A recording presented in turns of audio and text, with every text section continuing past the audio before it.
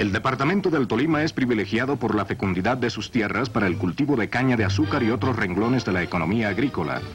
Como ejemplo, tomamos el ingenio azucarero de Pajonales, donde la tecnificación de los métodos de cultivo se viene logrando desde el año de 1945.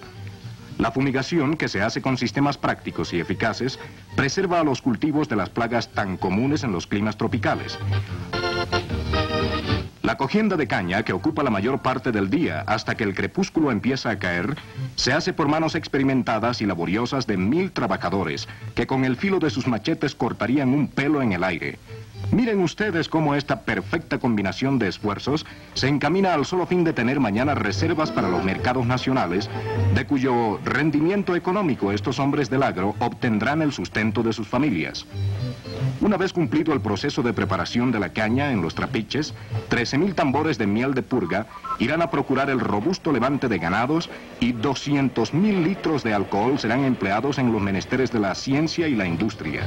En esta plantación de 3.500 se obtienen cada año 280.000 quintales de azúcar refinada de gran demanda en el exterior. En esta forma el Tolima contribuye al progreso nacional.